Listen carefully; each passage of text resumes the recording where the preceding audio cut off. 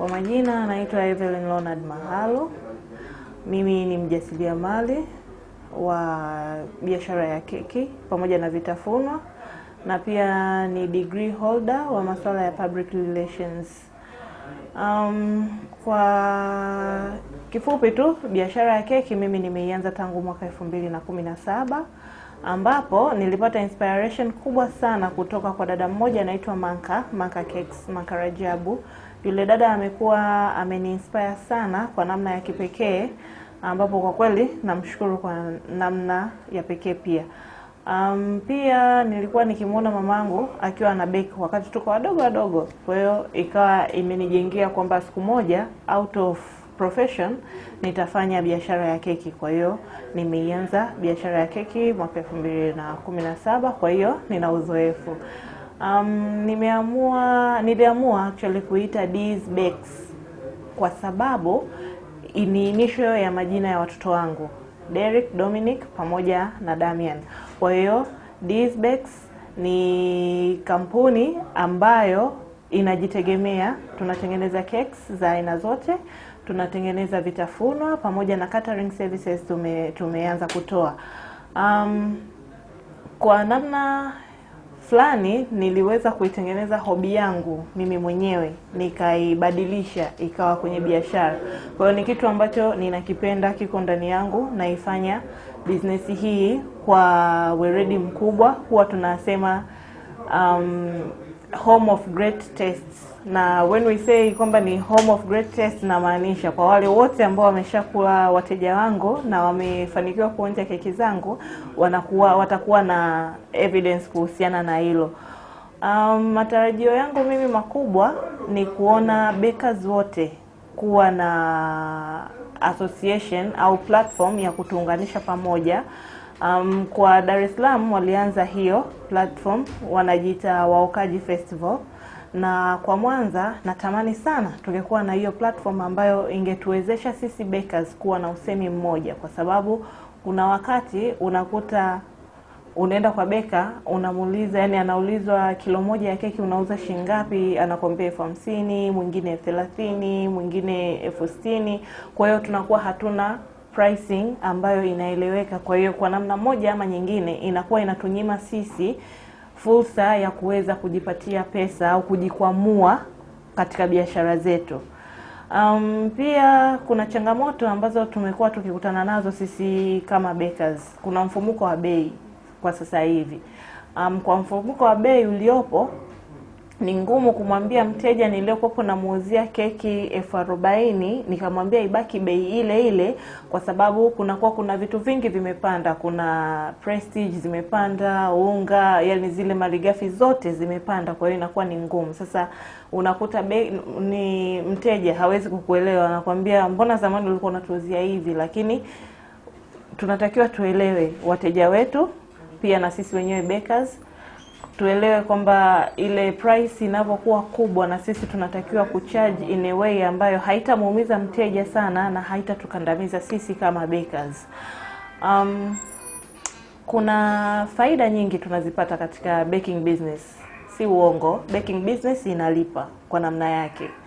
Um, ndio maana sasa hivi unakuta kila sehemu, kila mtu anakuwa ni mtengenezaji wa keki na nini. Kwa hiyo tusiseme uongo sana, inalipa, lakini sio kwa kiwango kile ambacho tunakitamani kifikie. Pia kuna namna ambayo sisi wenyewe bakers tunaweza tukaimprove kazi zetu. Kuna customer care nzuri, ambapo mtu ukiwa na customer care nzuri trust me, atarudi tena na tena na tena. Pia kutengeneza kazi zetu kwa weledi ukitengeneza kazi yako kwa weledi, hata mtu akiwa ni nje ya mkoa lazima atakutafuta. Tumekuwa tukipata tenda ambazo mtu anahitaji keki yuko nje ya mkoa, na unaweza kumrifaa kwa mtu labda, na akakwambia sitaki mtu yoyote, nataka tu mikono yako. Kwa hiyo wengine wanatusafirisha, wengine wanaamua, tunaamua tunawatengenezea, tunawatumia kwa ndege na nini. Kwa kweli tunashukuru kwa namna moja ama nyingine. Kuna wale bakers wapya machipkizi sasa, naomba niwape neno moja tu. Baking na baking cakes na swala zima la vitafunwa sio kitu cha kuogopa. yaani usiogope kabisa. You want to start your business, unataka kuanzisha biashara yako ya keki, usiogope kwamba mimi nitaanzaje au mimi nitafanyaje kufikia yale malengo. Kuna bakers wapo wengi sana na manguli wapo, lakini tukumbuke kitu kimoja, kuna vitu ambavyo wewe vitakutofautisha na bakers wengine. Tunaweza tukawa tuna recipe hii moja, lakini hiyo recipe wewe ukaitengeneza in a way that mtu hawezi kuacha kufata keki zako. Kwa hiyo we have to differentiate ourselves from others, lakini pia tukumbuke good customer care pays, alafu tukumbuke kwamba keki ni biashara ambayo inahitaji kujitoa kweli kweli. Kuna bakers wengine anaweza akapika keki akaona keki haijaenda sawa, mtu akaja akamskon kwamba mbona keki zako ziko hivi, keki zako haziko vile. Kikubwa ni kujifunza, unapokea wapi umekosea na unaamua kujirekebisha pale ulipokosea.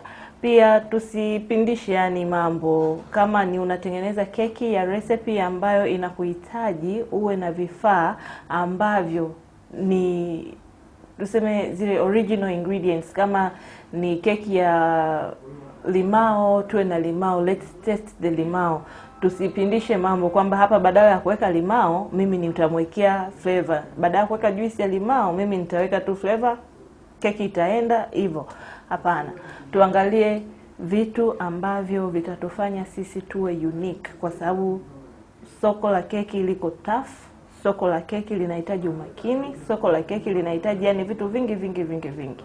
Na pia ninawawasa hata bakers wenzangu pia we, tunafanya cake business, lakini pia unaweza ukakuta umetengeneza keki ile muda wa kufanya delivery, mteja apokei na umetengeneza keki haja kulipa. Tuwe na usemi mmoja kwamba hata wateja wetu tunaomba kwamba umeshatoa oda, tunaomba uilipie then utapata keki yako. Si kwa ubaya, lakini tunakuwa tunasaidiana. Haya maisha ni kusaidiana, kwamba mimi nimetoa oda kwako na nategemea keki niipate, ile muda wa kukufanyia delivery haupatikani, inakuwa ni kitu ambacho ni kibaya sana. Kwa hiyo tunaomba tujirekebishe kwenye hilo. Um, mi nawakaribisha tu Dee's Bakes. It's the home of great taste. Yaani keki zangu sio kwamba najisifia, ni tamu, ni nzuri, yani hutajutia kuja kwangu. Kwa hiyo tunakukaribisha sana, uje wewe, tell friend friend, uje ujionee madikodiko mautamu ya Dee's. Kwa mimi ambavyo nimeweza kuanza kutumia hizi keki za Dee's, utofauti wake ni kwamba unakuta ni keki laini sana yani zinafaa hata kwa matu, hata kwa yule mwenye mapengo, sijui tuseme ana meno mabovu, zile keki anaweza akazitumia. Mi mara ya kwanza kuzitumia nilisema mbona hizi keki zina tofauti, kwa sababu ukienda supermarket unakuta keki ni ngumu, yani hazieleweki, lakini ile keki ya diz zinapopatikana kweli ni nzuri sana, ni tofauti na keki nyingine. Pia zina ladha nzuri sana, ukiangalia kaladha ka vanilla kale kana harufu nzuri, lakini ukienda kwenye keki nyingine hauwezi mpaka ni uanze kufeel hii ni ladha gani. Lakini zile keki za Dizi ladha yake yani nasikika kabisa, unajua hii ni vanilla, hii ni flavor ipi, yani unajua. Kwa mawasiliano uh, unaweza ukanipata kwa namba 0655 58 97 26 ambayo pia iko WhatsApp. Um, pia Instagram unaweza kunipata kwa Dee's D double E S Bex 1.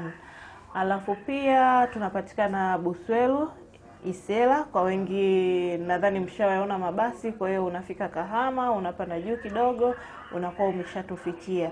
Napenda kuwatakia siku njema, mkaribie kwenye biashara yetu, pia muonje keki zetu. Keki zetu ni tamu, keki zetu ni nzuri, they are very tasty na karibuni mjipatie maudambwidambwi mwingi. yani sisi wa tunajiita kwamba the house of great taste na mautamu utamu mengi. Kwa hiyo karibuni sana, mtajipatia keki za aina yoyote. Pia hatuko na decorated cakes tu peke yake, tuko na plain cakes kwa jinsi ye mwenyewe mteja anachokitaka. BMG pamoja daima.